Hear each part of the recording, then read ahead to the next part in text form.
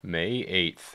The Holy Apostle and Evangelist John. The feast day of this great apostle and evangelist is celebrated on September 26th. This day, May 8th, commemorates the miracle which appeared at his grave. When John was over 100 years old, he took seven of his disciples, went outside the town of Ephesus, and ordered them to dig a grave in the form of a cross. After that, the elder went down into this grave and was buried. Later on, when the faithful opened John's grave, they did not find his body. On May 8th of every year, dust is raised from his grave from which the sick are healed of various diseases. Venerable Arsenius the Great. This glorious saint was born of a patrician family in Rome, and was well educated in the secular sciences and philosophy, as well as in spiritual wisdom. Abandoning all the vanity of the world, he dedicated himself to the service of the Church, and was a deacon of the great church in Rome. Unmarried, withdrawn, quiet, and devout, Arsenius thought to live that way his entire life. But the providence of God directed his path in life otherwise. Emperor Theodosius took him as a tutor and teacher of his sons Arcadius and Honorius, and installed him as a senator, surrounding him with great wealth, honors, and luxury. But all of this burdened Arsenius's heart rather than pleasing him. It happened that Arcadius committed a wrong, and for that Arsenius punished him. The offended Arcadius conceived a terrible revenge against his teacher, and when Arsenius found out, he changed into the clothes of a beggar, left for the seashore, boarded a boat, and sailed to Egypt. When he arrived at the renowned Skete, he became a disciple of the glorious John Colobus the Short, and dedicated himself to a life of asceticism. He considered himself dead, and when someone informed him that a wealthy relative died and willed his entire estate to him,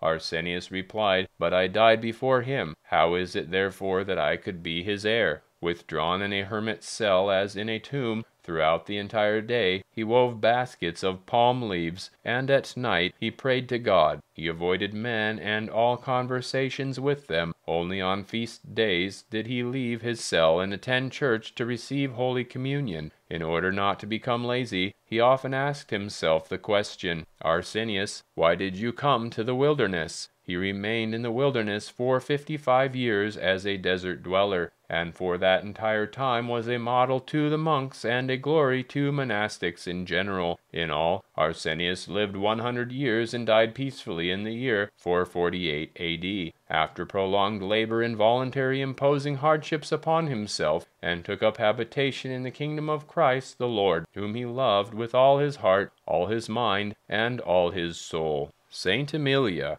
Emilia was the mother of Saint Basil the Great. In her youth, she desired to remain a virgin for life, but was forced into marriage. Emilia gave birth to nine children, and so inspired them with the Spirit of Christ that five of them became Christian saints Basil the Great, Gregory, Bishop of Nyssa, Peter, Bishop of Sebaste, Macrina, and Theosebia. In her old age, Emilia established a convent where she lived with Macrina, her daughter, and where she died in the Lord on May 8, 375 A.D. Venerable Arsenius, the lover of labor. Arsenius was a monk in the monastery of the Caves in Kiev. He never afforded himself any rest, but continually labored. He ate food only once a day, after the setting of the sun. He lived a life of asceticism and died in the fourteenth century. Hymn of Praise, St. Arsenius. Glorious Arsenius, whom the world glorified, fleeing from glory to himself, he said, To men and to the world, consider yourself dead. Neither wise nor foolish words do not speak. For a word at one time in life I repented, for silence I never repented. If my heart to God I do not bind, to shake off the passionate life I am not able. If my thoughts glorify God only, external passions will leave me. Your time fill with prayer and labor. Sleep even less and labor all the more. Arsenius the sinful, why do you stop? Why to the wilderness did you come, I ask? Not for the sake of idleness, but for the salvation of the soul. Not for the sake of sleep, but for the sake of repentance. Heal yourself quickly and enliven the soul. Lord, have mercy, forgive and have mercy.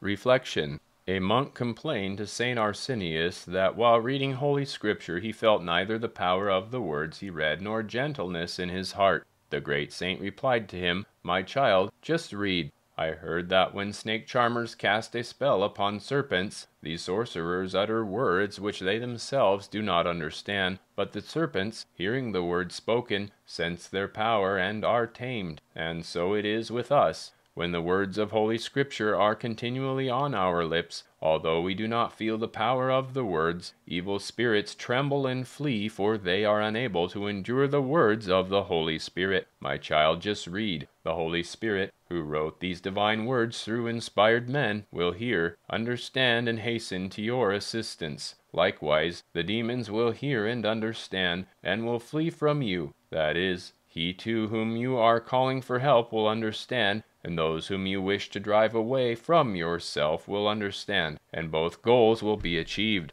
Contemplation to contemplate the descent of God the Holy Spirit upon the apostles, how there appeared fiery tongues over the apostles, one on each of them, how the apostles are filled with the Holy Spirit and begin to speak in various tongues as the Holy Spirit gives them utterance homily about evil as the fruit of the thoughts of men.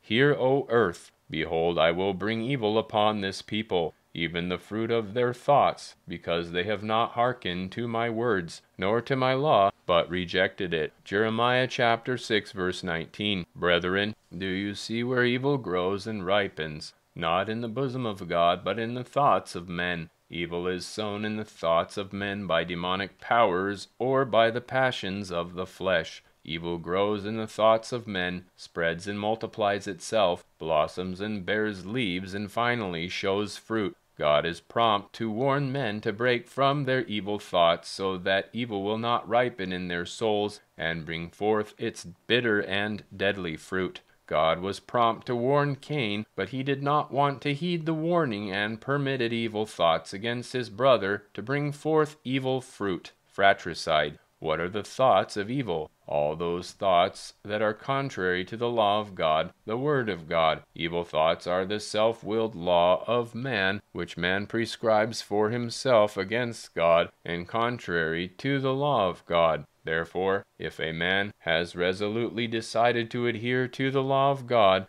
evil thoughts are then as weak as shadows which quickly appear but in the same way quickly disappear. Then a man is Lord over his thoughts, for he feels God as the Lord over himself. Then the law is the law of God, and the evil thoughts of men are nothing. Behold, I will bring evil upon this people, said the Lord. What kind of evil? The fruit of their thoughts. That is, I will permit them only to reap that which they sowed and nurtured. For evil is neither my seed nor my harvest. The evil which I will permit upon lawless men is the fruit of their own thoughts. According to their thoughts, they should have estimated what kind of evil will befall them as a sower estimates, according to his seeds, what he will harvest. O Lord meek and guileless, save us from our own evil which we alone have nurtured in ourselves. We pray to you, remove the evil fruit of evil crops, and help us to pluck out the evil seeds from our souls. To you be glory and thanks always. Amen.